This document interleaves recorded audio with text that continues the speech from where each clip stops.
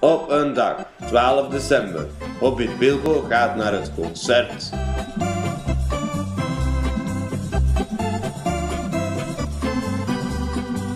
Ik haat concerten.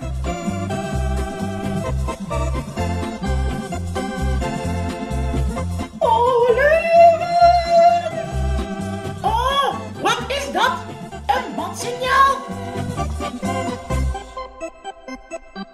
Ik kan niet mee, want ik zit in bad. Veel plezier, maar maak het niet te band.